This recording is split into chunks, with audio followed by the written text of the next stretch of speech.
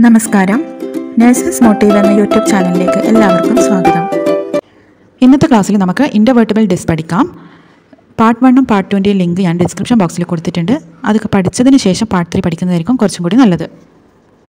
നിങ്ങൾ ഈ left സൈഡിലത്തെ picture നോക്ക്. കഴിഞ്ഞ ക്ലാസ്സിൽ നമ്മൾ പഠിച്ചു അഡൾട്ട് വെർട്ടിബ്രൽ കോളത്തിന്റെ അകത്ത് ഇരുപത്താറ് വെർട്ടിബ്രയുണ്ട് ഈ ഇരുപത്താറ് വെർട്ടിബ്രേന്റെ ഇടയിലും ഉള്ള ഡിസ്കിനെയാണ് നമ്മൾ ഇന്റർ വെർട്ടിബ്രൽ ഡിസ്ക് എന്ന് പറയുന്നത്. ഇന്റർ എന്ന് പറഞ്ഞാൽ ഇടയിൽ ഇന്റർ വെർട്ടിബ്രൽ ഡിസ്ക് വെർട്ടിബ്രേന്റെ ഇടയിലുള്ള ഡിസ്ക് ഇനി നിങ്ങൾ ആ റൈറ്റ് സൈഡിലത്തെ രണ്ട് പിക്ചർ നോക്ക്. അതിന്റെ അകത്ത് ബ്ലൂ കളറിൽ മാർക്ക് ചെയ്തിട്ടുള്ളതാണ് ഇന്റർ വെർട്ടിബ്രൽ ഡിസ്ക് അതായത് രണ്ട് വെർട്ടിബ്രേന്റെ ഇടയിലുള്ള ഡിസ്ക് ഓക്കെ അതേപോലെ രണ്ട് വെർട്ടിബ്രേന്റെ ഇടയിൽ ഒരു ഓപ്പണിംഗ് പോലെ കണ്ടോ? ലെഫ്റ്റ് സൈഡിൽ രണ്ട് പിക്ചറിന്റെ അകത്തും ലെഫ്റ്റ് സൈഡിൽ റൈറ്റ് സൈഡിലത്തെ രണ്ട് പിക്ചറിന്റെ അകത്തും ലെഫ്റ്റ് സൈഡിൽ ഒരു ഓപ്പണിംഗ് പോലെ കണ്ടോ? അതിനെയാണ് നമ്മൾ ഇന്റർ വെർട്ടിബ്രൽ ഫൊറാം എന്ന് പറയുന്നത്. അവിടെ മാർക്ക് ചെയ്തുകൊണ്ട് ഞാൻ പറഞ്ഞതാണ് നമ്മളിപ്പോൾ ഇന്റർ വെർട്ടിബ്രൽ ഡിസ്ക് ആണ് പഠിക്കുന്നത്. ഇനി ഇന്റർ വെർട്ടിബ്രൽ ഡിസ്കിന്റെ സ്ട്രക്ചർ എന്ന് പറഞ്ഞു കഴിഞ്ഞാൽ അതിങ്ങനെ റൗണ്ട് ആയിട്ട് ഒരു റിങ് പോലെയാണ് ഉണ്ടാകുക അതിന് രണ്ട് പാർട്ടുണ്ട് ഏറ്റവും പുറത്തുള്ള റിങ് പോലെയുള്ള ഫൈബ്രോ കാർട്ടിലേജ് കൊണ്ട് ഉണ്ടാക്കിയിട്ടുള്ള റിങ് പോലെയുള്ള ഭാഗത്തിന് നമ്മൾ ആനുലസ് ഫൈബ്രോസിസ് എന്ന് പറയും. ആനുലസ് എന്ന് പറഞ്ഞാൽ റിംഗ് ലൈക്ക് അതുകൊണ്ടാണ് അതിനാ പേര് വന്നത്. ആനുലസ് ഫൈബ്രോസിസ് ഇനി അതിന്റെ നടുക്കുള്ള ഭാഗത്തിന് നമ്മൾ ന്യൂക്ലിയസ് എന്ന് പറയും. പൾപ്പ് പോലെയുള്ള ന്യൂക്ലിയസ് പൾപ്പ് ലൈക്ക് ന്യൂക്ലിയസ്. അതുകൊണ്ട് അതിനെ പറയുന്ന പേരാണ് nucleus പൾപ്പോസിസ്.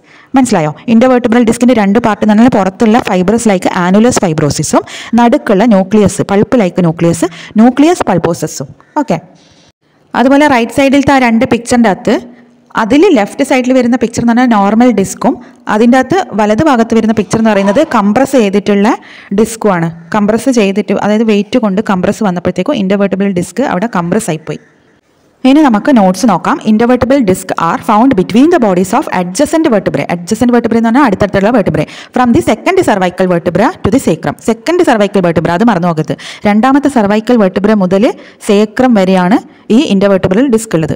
And account for about twenty five percentage of height of the vertebral column അതായത് ഒരു വെർട്ടിബ്രൽ കോളം എന്ന് പറഞ്ഞാൽ കഴിഞ്ഞാൽ ഇരുപത്തിയാറ് വെർട്ടിബ്ര ആണെന്ന് പറഞ്ഞു അഡൽട്ടിന്റെ അകത്ത്. ആ ഇരുപത്താറ് വെർട്ടിബ്ര കൂടാണ്ട് ഇതിന്റെ ഇടയിലെല്ലാം ഡിസ്ക് ഉണ്ടല്ലോ. അതും കൂടി കൂട്ടിക്കഴിഞ്ഞാലാണ് നമ്മൾ മൊത്തം മൊത്തമായിട്ടുള്ള ഹൈറ്റ് പറയുന്നത്. അതിൽ ഇരുപത്തഞ്ച് ശതമാനം ഹൈറ്റ് എന്ന് പറയുന്നത് ഈ ഇന്റർവേർട്ടിബ്രൽ ഡിസ്ക് ആണ് കൊടുക്കുന്നത്. അടുത്ത എന്താ പറയുന്നത് each disc has an outer fibrous ring consisting of fibrocartilage called the annulus fibrosus annulus എന്ന് പറഞ്ഞാൽ ring like and an inner soft pulpy highly elastic substance called the nucleus pulposus pulposus എന്ന് പറഞ്ഞാൽ pulp like ഇപ്പോൾ കുറച്ച് നേരത്തെ explain ചെയ്തുകൊണ്ട് ഞാൻ explain ചെയ്യുന്നില്ല. ഇത് ജസ്റ്റ് നോട്ട്സ് മാത്രമാണ് നിങ്ങൾ നോട്ട് ചെയ്യാം കേട്ടോ ഒരു കാര്യം കൂടി പറയാനുണ്ട്. The superior and inferior surface of the disc consist of a thin plate of hyaline cartilage ഈ ഡിസ്ക് ഇന്റർവെർട്ടിബ്രൽ ഡിസ്കിന്റെ സുപ്പീരിയർ ആൻഡ് ഇൻഫീരിയർ മുകളിലും താഴെയുള്ള ആ ഒരു സർഫേസിൽ ഒരു thin plate of hyaline cartilage കൂടിയുണ്ട്. നേരത്തെ നമ്മൾ പറഞ്ഞു റിംഗ് ഫൈബ്രസ് കാർട്ടിലേജ് ആണെന്ന്. അതേപോലെ ഈ ഒരു ഇന്റർവെർട്ടിബ്രൽ ഡിസ്കിന്റെ സുപ്പീരിയർ ആൻഡ് ഇൻഫീരിയർ സർഫേസിൽ ഒരു തിൻ ഹയാലിൻ കാർട്ടിലേജ് കൂടിയുണ്ട്.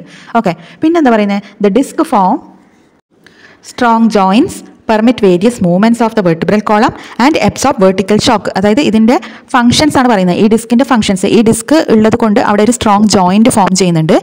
Permit various movements of the vertebral column vertebral കോളത്തിന് പല മൂവ്മെന്റ് പോസിബിൾ ആവുന്നത് ഇന്റർവെർട്ടിബിൾ ഡിസ്ക് ഉള്ളത് കൊണ്ടാണ്. ആൻഡ് എബ്സോർബ് വെർട്ടിക്കൽ ഷോക്ക് അതായത് നമുക്ക് നടക്കുമ്പോൾ എല്ലാം ഒരു ഷോക്ക് എബ്സോർബർ ആയിട്ട് അത് വർക്ക് ചെയ്യും. Under compression they flatten and broaden അതായത് വെയിറ്റ് എല്ലാം കൂടുന്ന സമയത്ത് ഇത് കംപ്രസ് ആവും. അതായത് അമർന്നിട്ട് ഇത് ഫ്ലാറ്റായി വലുതാകും. അതാണ് പറയുന്നത്. ഓക്കെ ഒന്നുകൂടി പറയാം. ഇതിന്റെ ഫംഗ്ഷൻസ് എന്തൊക്കെയാണെന്ന് വെച്ച് കഴിഞ്ഞാൽ it forms strong joints permit various movements of the vertebral column and absorb vertical shock under compression they flatten and broaden next intervertebral ഡിസ്കിനെ കുറിച്ച് എന്താ പറയുന്നത്? പകൽ സമയത്ത് നമ്മൾ സ്ട്രെയിറ്റ് ആയിട്ടല്ലേ നിൽക്കുക ആ സമയത്ത് കുറച്ച് കംപ്രഷൻ എല്ലാം നടക്കുമ്പോൾ ഇന്റർവേർട്ടിബ്രൽ ഡിസ്കിന്റെ കംപ്രഷൻ നടക്കുന്ന സമയത്ത് ഈ കാർട്ടിലേജിന്റെ ഇടയിലുള്ള വാട്ടർ ലോസ് ആവും. അതുകൊണ്ട് തന്നെ പകലിനെ അപേക്ഷിച്ചിട്ട് രാത്രി ആകുമ്പോഴത്തേക്കും നമ്മൾ ഹൈറ്റ് കുറച്ച് കുറവായിരിക്കും. ഹൈറ്റ് നല്ലോണം കുറവെന്നല്ല പകലിനെ അപേക്ഷിച്ച് നോക്കുമ്പം രാത്രി ആകുമ്പോൾ നമ്മൾ ഹൈറ്റ് കുറവായിരിക്കും. എന്നിട്ട് പിന്നെ നമ്മൾ രാത്രി കിടന്നുറങ്ങുന്ന സമയത്ത് നമ്മൾ ഹൊറിസോണ്ടൽ ലൈറ്റിൽ കിടക്കുക വെർട്ടിക്കൽ അല്ലല്ലോ. ഹൊറിസോണ്ടൽ ലൈറ്റ് കിടക്കുന്ന സമയത്ത് ഈ ഇന്റർവേർട്ടിബ്രൽ ഡിസ്കിന് അത്ര കംപ്രഷൻ ഒന്നും നടക്കാത്തതുകൊണ്ട് വീണ്ടും ഈ വാട്ടർ റേറ്റ് ആകും. എന്നിട്ട് നമ്മൾ രാവിലെ എഴുന്നേൽക്കുമ്പോഴത്തേക്കും വീണ്ടും നമ്മൾ ഹൈറ്റ് വെക്കും. ഹൈറ്റ് വെക്കും പറഞ്ഞാൽ നിങ്ങൾ വിചാരിക്കേണ്ട ഭയങ്കരമായിട്ട് ഹൈറ്റ് വെക്കുന്ന. പകലിനെ അപേക്ഷിച്ചിട്ട് രാത്രി ആകുമ്പോഴത്തേക്കും വെയിറ്റ് കുറച്ച് സോറി ഹൈറ്റ് കുറച്ച് കുറവായിരിക്കും. പകൽ കുറച്ച് ഹൈറ്റ് കൂടുതലായിരിക്കും. മനസ്സിലായോ? നമുക്ക് നോട്ട്സ് നോക്കാം. During the course of the day the disc compress and lose water from their cartilage so that we are a bit shorter at night while we are sleeping there is less compression and rehydration occurs പോയ water നമുക്ക് തിരിച്ച് hydrate ആവും. So that we are taller when we awaken in the morning രാവിലെ എഴുന്നേൽക്കുന്ന സമയത്ത് കുറച്ച് വലുതാവും.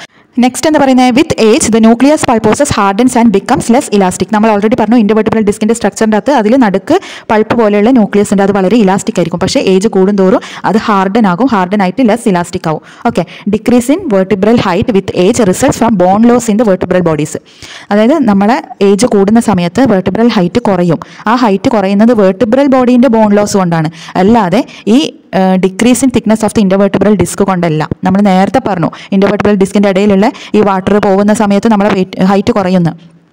അതല്ല നമ്മൾ ഏജ് ആവുന്ന സമയത്ത് നമ്മളെ ഹൈറ്റ് കുറയാനുള്ള സാധ്യത. അത് എന്തുകൊണ്ടാണെന്ന് വെച്ചാൽ വേർട്ടബിൾ ബോഡീസിന്റെ ബോൺ ലോസ് സംഭവിക്കുന്നതുകൊണ്ടാണ്. മനസ്സിലായോ? അത് നിങ്ങൾക്ക് കൺഫ്യൂഷൻ ആകാൻ പാടില്ല. അതായത് വേർട്ടിബ്രൽ ഹൈറ്റ് ഏജ് കൂടുന്ന സമയത്ത് കുറയുന്നത് എന്തുകൊണ്ടാണെന്ന് ചോദിച്ചാൽ വേർട്ടിബ്രൽ ബോഡീസിലുള്ള ബോൺ ലോസ് സംഭവിക്കുന്നതുകൊണ്ടാണ്. അല്ലാണ്ട് നമ്മൾ നേരത്തെ പറഞ്ഞതുപോലെ ആ ഒരു വാട്ടർ ലോസ് ആവുന്ന സമയത്തുള്ള ഇതുകൊണ്ടല്ല. മനസ്സിലായോ? കാരണം ഏജ് ആകുമ്പോഴത്തേക്ക് ഈ വാട്ടർ ലോസ് ആവുന്ന ആ ഒരു സംഭവം ആ ഒരു ന്യൂക്ലിയസ് ഹാർഡൻ ആവുന്നുണ്ട്. ഹാർഡൻ ആയിട്ട് ലെസ് ഇലാസ്റ്റിക് ആയിട്ട് മാറുന്നുണ്ട്. അപ്പോൾ അവിടെ വെള്ളം കൂടാനും കുറയാനും ഒന്നും സാധ്യതയില്ല. ഡീഹൈഡ്രേഷനോ റീഹൈഡ്രേഷനോ ഒന്നും നടക്കാൻ പോകുന്നില്ല.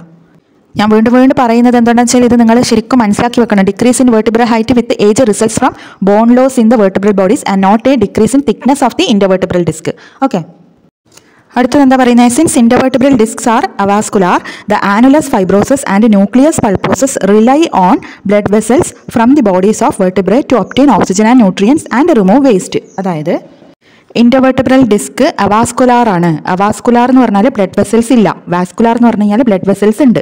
അപ്പോൾ ഇതിന് ബ്ലഡ് വെസൽസ് ഇല്ലാത്തതുകൊണ്ട് ഓക്സിജനും ന്യൂട്രിയൻസും ബ്ലഡിലൂടെയാണല്ലോ നമുക്ക് കിട്ടുക അത് കിട്ടില്ലല്ലോ. വേസ്റ്റ് റിമൂവ് ചെയ്യാനും കഴിയില്ല. അതുകൊണ്ട് ഇവർ രണ്ടാളും ആരെല്ലാം? ആനുലസ് ഫൈബ്രോസസും ന്യൂക്ലിയസ് ഫൈബ്രോസസും ഇൻഡോവെർട്ടിബ്രൽ ഡിസ്കിന്റെ രണ്ട് പാർട്ടാണ് ഇവർ രണ്ടാളും റിലയോൺ റിലയോൺ എന്ന് പറഞ്ഞു കഴിഞ്ഞാൽ ആശ്രയിക്കും. ആരാ? Blood vessels from the bodies of vertebrae vertebral ബോഡീസിന്റെ blood വെസൽസിനെയാണ് ആശ്രയിക്കുന്നത്. എന്തിന് ഓക്സിജൻ ആൻഡ് ന്യൂട്രിയൻസിന് വേണ്ടിയും വേസ്റ്റിനെ റിമൂവ് ചെയ്യാൻ വേണ്ടിയിട്ടും. നെക്സ്റ്റ് എന്താ പറയുന്നത്? Certain stretching exercises such as yoga decompress disc and increase general blood circulation അതായത് യോഗ പോലെയുള്ള എക്സസൈസ് ചെയ്ത് കഴിഞ്ഞാൽ നമ്മൾ ഈ ഡിസ്ക് കംപ്രസ് ആവുന്നില്ലേ? അതിനെ ഡീകംപ്രസ് ചെയ്യും. കംപ്രസിന്റെ നേരെ ഓപ്പോസിറ്റ് ആണ് ഡീകംപ്രസ് ചെയ്യും. അങ്ങനെ നമ്മൾ ബ്ലഡ് സർക്കുലേഷൻ അവിടെ ഇൻക്രീസ് ചെയ്യും.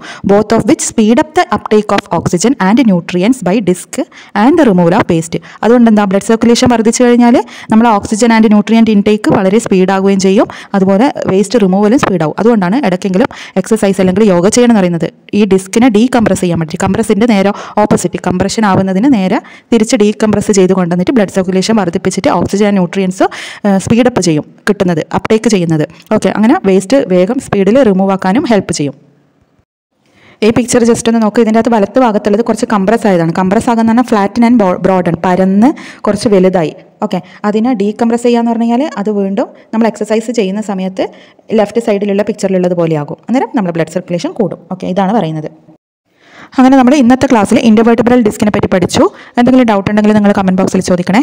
താങ്ക്